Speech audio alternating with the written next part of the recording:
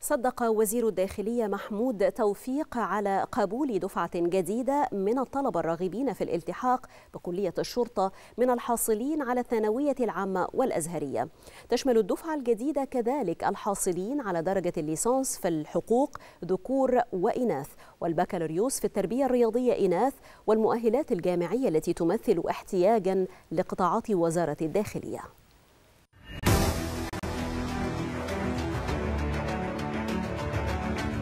صدق السيد محمود توفيق وزير الداخلية على قبول دفعة جديدة من الطلبة الراغبين في الالتحاق بكلية الشرطة للعام الدراسي 2023-2024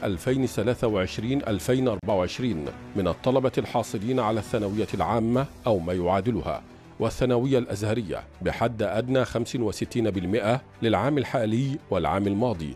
وكذا الطلبة والطالبات من الحاصلين على ليسانس الحقوق بحد أدنى تقدير مقبول والحاصلين على بكالوريوس تربية رياضية بحد أدنى تقدير مقبول. كما أعلن مساعد وزير الداخلية لأكاديمية الشرطة خلال المؤتمر الصحفي الذي عقد بمقر الأكاديمية للإعلان عن ضوابط ومعايير القبول بكلية الشرطة. عن قبول دفعة من طلبة الجامعات في التخصصات التي تمثل احتياجا أساسيا لقطاعات وزارة الداخلية بتقدير جيد كما أعلن عن مواعيد التقدم لكل فئة. أولا الحاصلون على شهادة إتمام الدراسة الثانوية العامة أو ما يعادلها أو شهادة إتمام دراسة الثانوية الأزهرية الشهادة السنوية من الخارج الدبلومات الأجنبية مدارس المتفوقين في العلوم والتكنولوجيا للعام السابق 2022 ثانيا الحاصلون على شهادة الليسانس في الحقوق ذكور وإناث بكالوريوس التربية الرياضية إناث للعام السابق 2022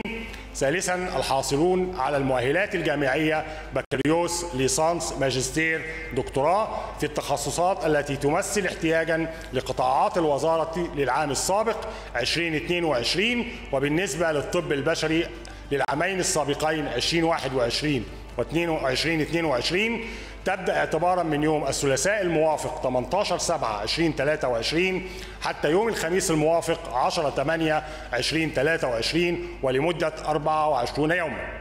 الحاصلون على شهادة إتمام الدراسة الثانوية العامة أو ما يعادلها أو شهادة إتمام دراسة الثانوية الأزهرية الشهادة السنوية من الخارج الدبلومات الأجنبية مدارس المتفوقين في العلوم والتكنولوجيا لهذا العام 2023 وطلبة الدور الثاني.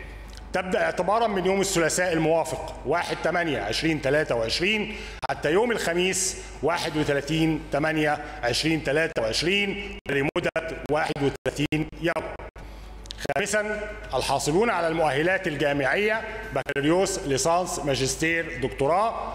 التخصصات التي تمثل احتياجا لقطاعات الوزارة وشهادات الليسانس في الحقوق ذكور وإناث بكالوريوس التربية الرياضية إناث لهذا العام 2023 تبدأ اعتبارا من يوم الثلاثاء 1 8 2023 وحتى يوم الخميس 14 9 2023 ولمدة 45 يوما.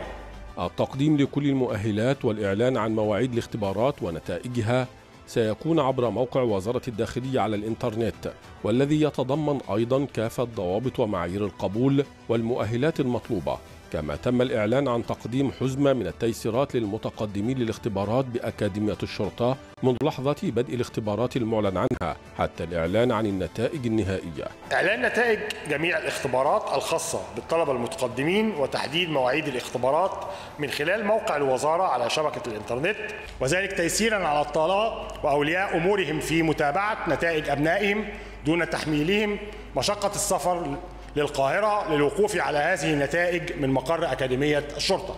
إعداد عدة منافذ لاستخراج صحف الحالة الجنائية وبيع الطوابع والدمغة ونسخ الأوراق والتصوير الفوتوغرافي الفوري واستخراج الوثائق اللازمة للطلبة المتقدمين تشكيل لجنتين للاستعلام على بوابتي الأكاديمية الرئيسية ورقم خمسة للرد على استفسارات المترددين.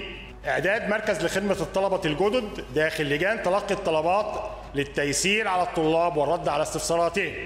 توفير خطي تليفون مباشرين لتلقي أي استفسارات من الطلبة وأسرهم عن شروط أو إجراءات أو أوراق الالتحاق. ويتمتع الطلاب من الملتحقين بقسم الضباط المتخصصين بمزايا متنوعة. يأتي في مقدمتها مكافأة طوال فترة دراستهم توازن مرتب المقرر للمؤهل الجامعي الحاصلين عليه كما يحصل الخريج على كافة المزايا الصحية والاجتماعية والثقافية والرياضية المقررة لضباط الشرطة. يخضع المتقدمون للالتحاق بكلية الشرطة من كافة المؤهلات لاختبارات ثقافية ورياضية وبدنية وصحية ويمثل اجتيازها نجاحا في الالتحاق بهذا الصرح الأمني المتميز. والدراسة فيه وفق برامج تعليمية وتدريبية متطورة تؤهلهم لحمل مشعل أمن وأمان هذا الوطن. الإعلان عن قبول دفعة جديدة بكلية الشرطة. يفتح باب أمل للراغبين في الالتحاق بهذا الصرح الأمني المتفرد في أن يتقدموا ويجتازوا الاختبارات المحددة ليحملوا مشعل أمن وأمان هذا الوطن. عبد الله بركات التلفزيون المصري.